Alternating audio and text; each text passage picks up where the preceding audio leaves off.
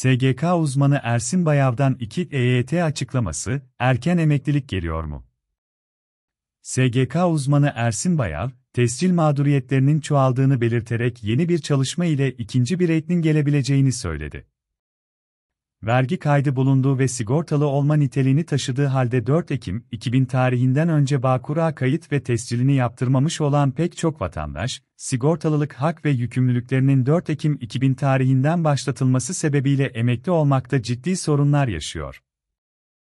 Bununla ilgili ise emeklilik sistemine ilişkin değişiklik sinyalinde konuşulduğu belirtildi. SGK uzmanı Ersin Bayav, tescil mağduriyetlerinin çoğaldığını belirterek yeni bir çalışma ile ikinci bir eğitimin gelebileceğini söyledi.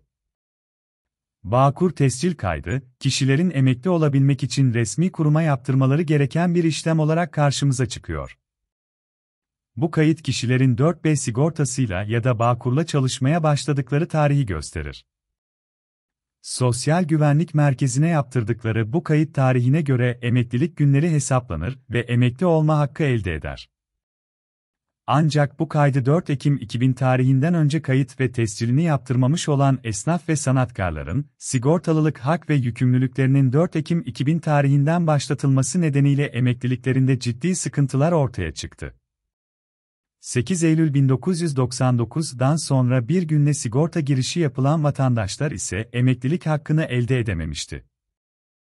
Bu sorunun çözümü için ise emeklilik sistemlerinde değişiklik geleceği belirtiliyor.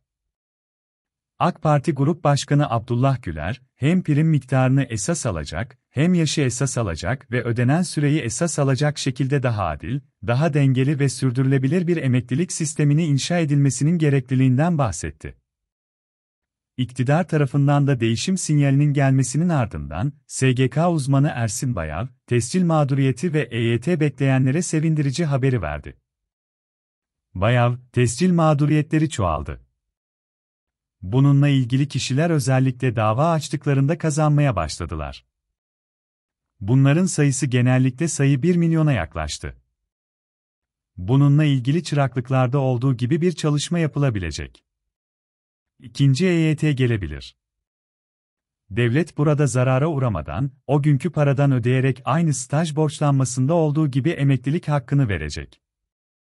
Sonuçta bu kişiler çalışıp, primlerini ödemişler ama başvuru yapmamışlar, ifadelerini kullandı.